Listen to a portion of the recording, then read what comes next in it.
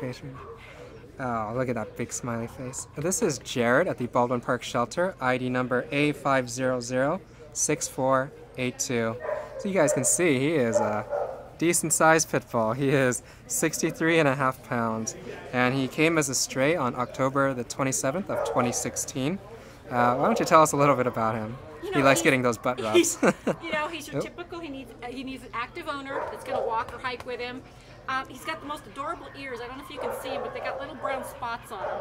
They're so cute. But he needs some basic training. He pulls on leash a little bit, but he's he's like this big love bug. I mean, he's really sweet. He just needs someone to give him some training, and he's going to make a great dog for anybody who's active and wants to do some walks or hikes or running.